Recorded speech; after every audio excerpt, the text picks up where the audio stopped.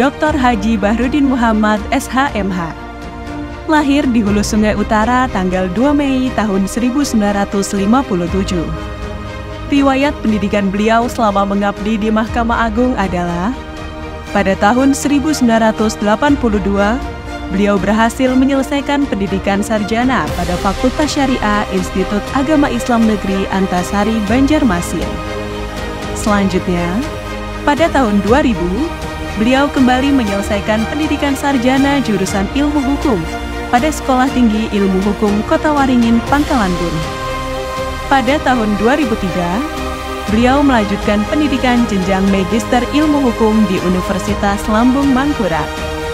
Hingga akhirnya, pada tahun 2013, beliau menyelesaikan pendidikan doktoral program studi ilmu hukum di Universitas Brawijaya.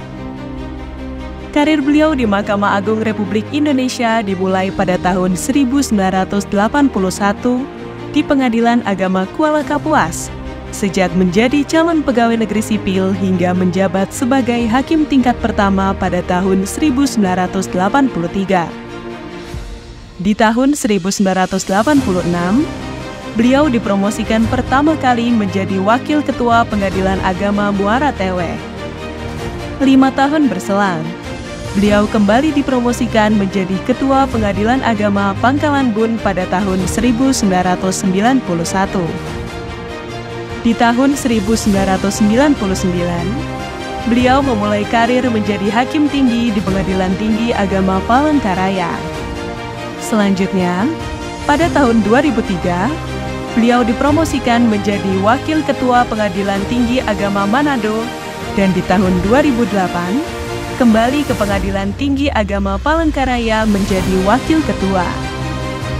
Tak butuh waktu lama, pada tahun 2011, Beliau dipromosikan menjadi Ketua Pengadilan Tinggi Agama Maluku Utara hingga tahun 2015. Kemudian pada bulan Mei tahun 2015, beliau dimutasi ke Pengadilan Tinggi Agama Mataram. Karir beliau di Pulau Jawa dimulai saat dimutasi menjadi Ketua Pengadilan Tinggi Agama Semarang pada tahun 2017.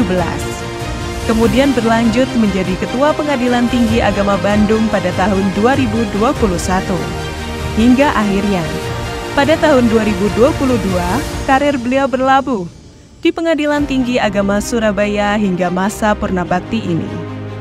43 tahun 3 bulan sudah, beliau memberikan pengabdian terbaiknya kepada Mahkamah Agung Republik Indonesia.